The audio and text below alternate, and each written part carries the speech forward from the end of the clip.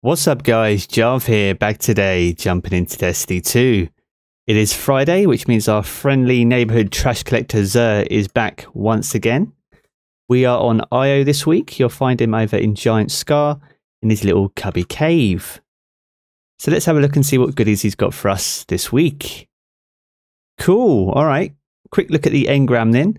So this is an engram which helps you fill out your collection, so if you're missing any exotics, be sure to pick this one up for 97 shards. If you have a full collection though, it will otherwise contain a random piece of exotic armor. So if you're looking for high stat rolls, then be sure to pick this up if you're looking for those. Exotic gear then, so we have Fighting Lion for the week, we have Lucky Pants for the Hunter, Starfire Protocol for the Warlock, and Peregrine Greaves for the Titan. Any consumables, Five of Swords will be here, and any invitations of the Nine, that I'm still working on actually will be found at the bottom. Cool, quick look at the Fighting Lion then. This is an exotic grenade launcher. It comes with delayed gratification. So grenade projectiles will bounce off surfaces. So if you hold fire, you have to release to detonate. It also has Thin the Herd, where direct hits do more damage to enemy combatant shields. Rapid kills against grenade damaged enemies refill the magazine, and kills always drop primary ammo. Now, this is a very interesting grenade launcher. It's actually quite fun once you get used to using it, and it's really good for if you're going after mountaintop and things like that. So be sure to pick it up, guys, if you're still working on your mountaintop and you don't have this one already in your collection. Lucky Pants for the Hunter. So we have the Void Affinity with 48 stats are still the trash rolls from the collection. Illegally modded holster is the exotic perk, so precision hits Load one round to the chamber of stowed hand cannons. Hand cannons are ready faster and are more accurate immediately after swapping to them. This is actually a really fun exotic. It's probably underused. There's probably ones that are used more often than in things like Crucible, things like Stompies and things like that. But with the increased accuracy and stow speeds for hand cannons, it is really effective, especially as hand cannons are relatively strong in Destiny 2 throughout. If you don't have it, guys, and you want to check it out, uh, be sure to come pick this up if you main a hunter.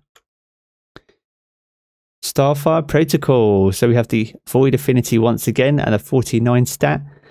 So we have Fusion Harness. So fusion grenades have an additional charge and recharge from empowered weapon damage. Fusion grenade kills grant Rift Energy. Again, an OG exotic and one reprised from Destiny 1.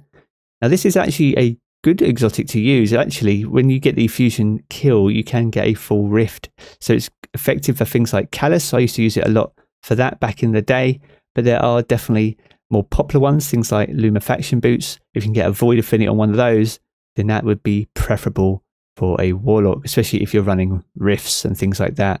But nevertheless, fun to use and creates a different playstyle, so be sure to get it should you not have it. And finally, Peregrine Greaves for the Titan. So these are a fairly new exotic here. We have the Arc Affinity with a 52 stats, so better than the rest.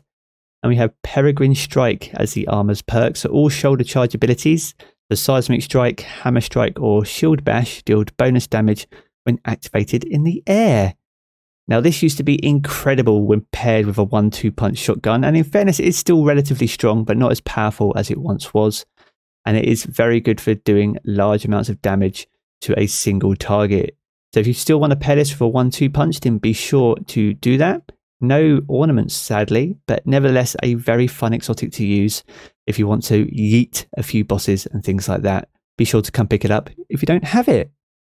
So there we have it, guys. That's going to wrap up Xur for this week. He, as I said, he's over on IO, so be sure to come check him out. We have the Imperium Foundation next week, as well as a Infamy buff. So if you're chasing anything down in Gambit, still working on Dredgen, things like that, then be sure to jump into Gambit as well from next week. But that's going to wrap up the video for today, guys. I hope you have enjoyed it. If you have, then be sure to leave a rating down below. That super helps us out here on the channel. And if you're new around here, want to keep up to date with all the latest Destiny 2 content, then be sure to hit subscribe as well. I'm going to jump back into the game as always, guys, and I will catch you all again very soon.